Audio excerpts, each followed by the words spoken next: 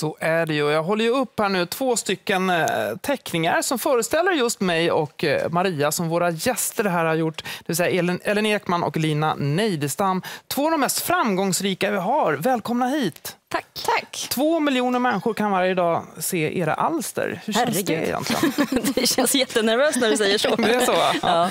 Eh, Rätt många ser den här. Lina, du har gjort den här. Hur tänkte du? Jag gillar superhjältar jättemycket och skulle väl gärna vilja vara en själv. Och så tänkte jag att eh, varför inte göra er till det? Ja, jag är ganska nöjd med hur jag framförs här faktiskt. Eh, Mm. Jo, det var kul att photoshoppa dina magmuskler så, där, så att det blev det här snygga eller blänket. hur? Mm. De hade ju visat mycket. Här har vi också en annan typ av eh, magmuskler.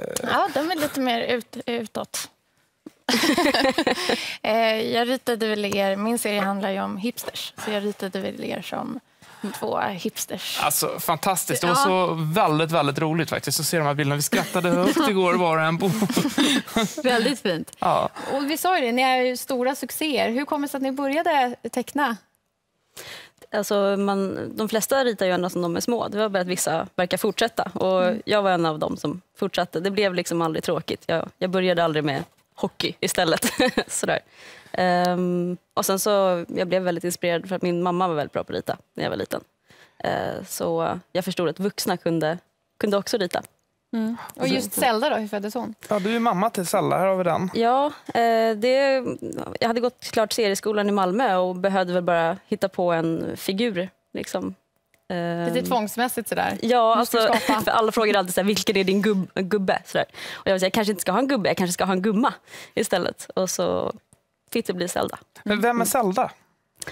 Eh, hon började som en väldigt sådär, arg idealist och ganska mycket en parodi på hur jag var som tonåring när jag, världen var väldigt svartvit och, och sådär. Men ju äldre man blir desto mer i gråskala blir ju allting. Och desto mer inser man så hur mycket man inte vet. Eh, och jag tror att det är lite den resan som Zelda håller på att göra lite grann genom serien. Att hon gör upp lite med sitt underdog-komplex och inser kanske vilka privilegier hon har och sådär. Så att sakta men säkert så blir hon lite mer nyanserad. Och det där som händer mellan 20 och 30 förhoppningsvis.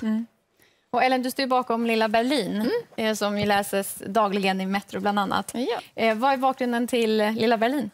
Ja, men Lilla Berlin eh, kom när jag gick på serieskolan i Malmö där jag också har gått i samma skola som Lina. Eh, då vi fick en skoluppgift och skulle hitta på en sån strippserie. Och då var jag nyinflyttad eh, i Malmö och tyckte mig se de här Mal, eh, Möllan hipsters som jag ville hitta på en serie om. Så, så då kom Lilla Berlin till. Möllan är ju en eh, stadsdel i Malmö. Ja, de ser nog ut så här. Jag har bott nära Möllan en gång också. Så att, ja, det, är lite, det vill säga som, som på den här bilden. Då. Ja, men lite. Eh, Så jag tycker det är kul att det är du som har selfiepinnen. Det borde vara du, det Ja, eller hur? Ja. Vad får ni för reaktioner? Vad får du för reaktioner? Är det igenkänning? Ja, mycket igenkänning. Och det är både från eh, personer som tillhör den här generationen jag skildrar, eh, som är min egen generation, och från, från äldre som kan eh, liksom sk- skratta åt dagens ungdom och alla som håller på Instagrammar och sånt där. Eh, Och vad jag förstår så vill ni också på ett djupare plan beröra någonting och ändra skeva normer. Jo, absolut. Det handlar ju mycket om att, att belysa sånt som man tycker är fel, såklart. Utan att det bara ska handla om... Alltså, det ska inte vara en, en serie som är så här, moraliska pekpinnar och som bara säger vad som är fel i världen och hur alla borde vara. Utan jag kan tycka att det kan bli ganska tråkigt med såna serier där protagonisten alltid har rätt och säger smarta, cyniska saker. Så här, utan jag tycker det är viktigt att det även ska få finnas utrymme för mänsklighet i en serie. Jag tänker Zelda går ju väldigt bra i Norge. Mm. Vad, tror du, vad är det som gör att norrmännen känner så starkt för Zelda? Eh, jag tror att de kanske har lite mer så här kalanka seriekultur än vad vi har. Vi har lite mer politisk satir och kanske grafiska romaner och en tradition av det. Men med deras serier är fortfarande mycket så här, ja men dratta på ändan och snuskiga, snuskiga skämt och de har lite högre i tak för det kanske. I, I vissa norska tidningar, men i andra norska tidningar så har ju Zelda blivit utkickad för att det var pupper med i den till exempel. och eh, det var någon som övade liksom lästräning med sin son genom att läsa serierna i tidningen. Och eh, då kom en Zelda-stripp upp där hon hade fuffens för sig och det tyckte inte de var så barnvänligt. Det, så, det är kanske är bra i marknadsföringen av serien. Kanske. Snacket kring den. Så, kanske. ja. Eh, Blir man aldrig för stor för serier? nej, Nej. det tycker jag inte. Det tror jag Eh, inte. Jag tror att båda våra serier tar ju upp ganska, liksom, ibland ganska allvarliga ämnen men att man behöver humor ofta Mm. för att kunna liksom, bearbeta och hantera Mm. sånt som man ser och upplever i samhället. Vad tänker du då på? Nej, men som, som ni pratade om tidigare, skeva normer eller rasism eller sexism. Och om man får bearbeta det med lite humor så, är det, så kan man ta sig vidare och eh, göra något åt det kanske. Och Varför blir de så stora? Som vi sa, två miljoner läser det varje dag. Så det, är en, det är en hype kring de här seriestripparna just nu. Mm.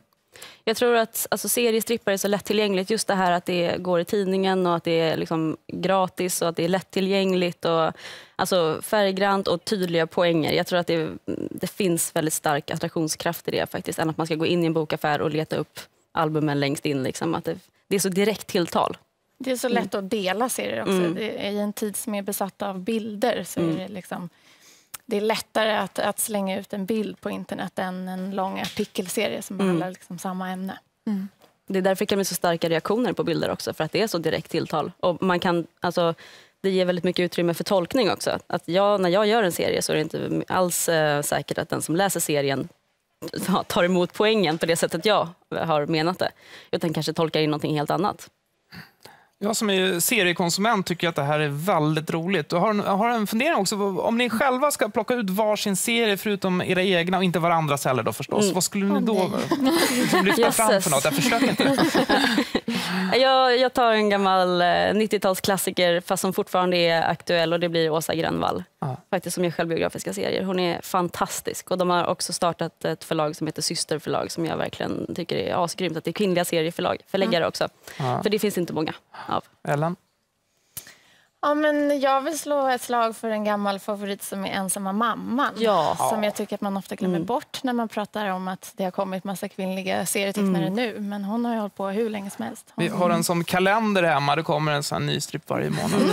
Tack så jättemycket för att ni kom hit och lycka till Tack. till Zelda och eh, karaktärerna i Lilla Berlin.